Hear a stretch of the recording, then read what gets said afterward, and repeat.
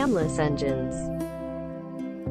In a camless engine, each engine valve is operated individually by an actuator.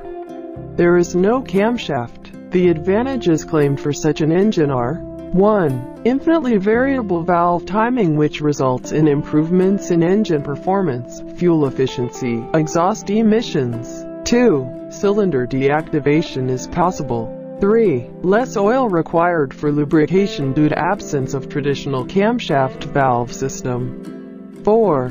Cold start wear of the valve train hardware is also minimal. 5. Higher overall valve train CF efficiency due to elimination of frictional losses of camshaft mechanism and the weight of the mechanism. Two types of camless valve trains are being developed, viz. the electro-hydraulic and the electromechanical types. However, to date no production vehicle with camless engine is available due to the practical problems with the electronically controlled valves.